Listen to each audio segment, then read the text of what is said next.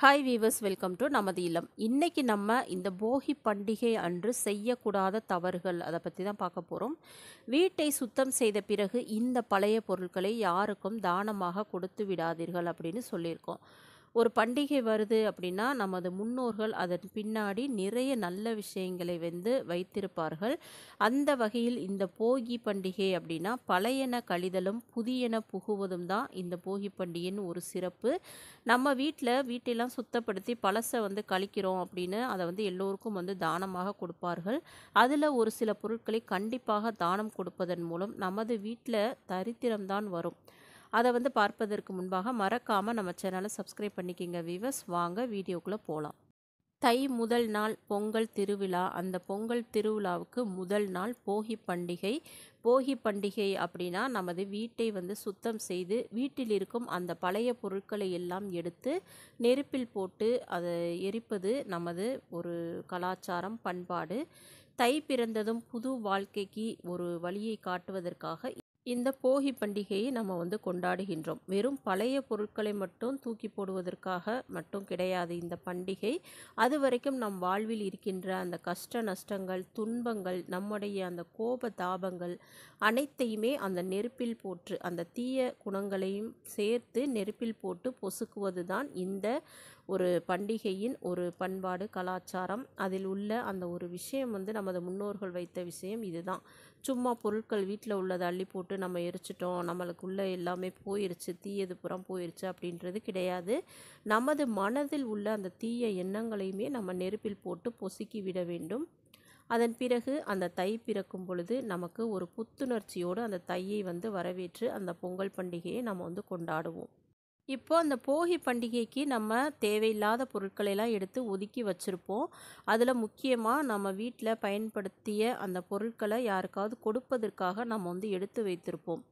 அந்த பொருட்களை எல்லாம் என்னென்ன பொருட்களை யாருக்கு கொடுக்கக்கூடாது அப்படின்றத பார்க்கலாம்.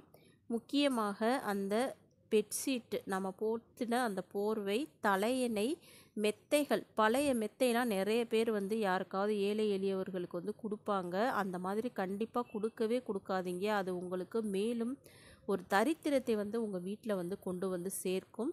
இந்த போகி பண்டிகை அன்னைக்கு நம்ம அதெல்லாம் வந்து எரிச்சிடுறது நல்லது. இந்த பிளாஸ்டிக் அந்த மாதிரியான பொருட்களை மட்டும்தான் எரிக்கக்கூடாது. இந்த மாதிரி பழைய பாய் அந்த தலையணைகள் அந்த மெத்தைகள் இதை எல்லாவற்றையுமே நம்ம வந்து யாருக்குமே தானமாக கொடுக்கக்கூடாது. அந்த பழைய முறம் துடைப்பம் இந்த மாதிரி அந்த நம்ம வீட்டில் பயன்படுத்தின இந்த பொருள்களை மட்டும் யாருக்குமே நீங்கள் வந்து தானமாக கொடுக்காதீங்க. ஏன்னா நம்ம நினைப்போம் இந்த போர்வை வந்து நல்லா தான் இருக்குது இந்த பாய் வந்து ரொம்ப டேமேஜ்லாம் இல்லை. இந்த பக்கத்தில் கஷ்டப்படுறாங்க அவங்களுக்கு கொடுத்தா யூஸ் ஆகும் அப்படின்னு இந்த பொ பொருட்களையெல்லாம் நம்ம வந்து கொடுப்பதற்காக வைத்திருப்போம். கண்டிப்பாக இந்த பொருட்களை நம்ம வந்து படுத்து தூங்கி அது என்ன தான் கழுவி கொடுத்தாலுமே அந்த பொருளை வந்து கண்டிப்பாக அடுத்தவர்களுக்கு கொடுக்கவே கூடாது.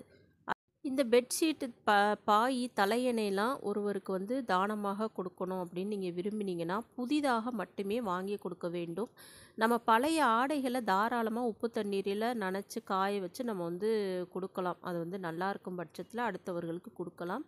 ஆனால் நாம் படுத்து உறங்கிய இந்த தலையணை மெத்தை பாய் அந்த போர்வை இது எல்லாவற்றையுமே நீங்கள் தானமாக கொடுக்கும் பொழுது அது வந்து உங்களுக்கு பாவத்தையும் துன்பத்தையும் அந்த ஒரு தரித்திரத்தையும் கொடுக்கும் அப்படின்னு நமது முன்னோர்கள் வந்து சொல்லியிருக்கிறார்கள். அதனால் நீங்கள் வந்து இந்த பொருள்களை கண்டிப்பாக தானமாக கொடுக்கக்கூடாது. அதை வந்து தீயிலிட்டு நீங்கள் வந்து கொளு கொளுத்தி விடலாம்.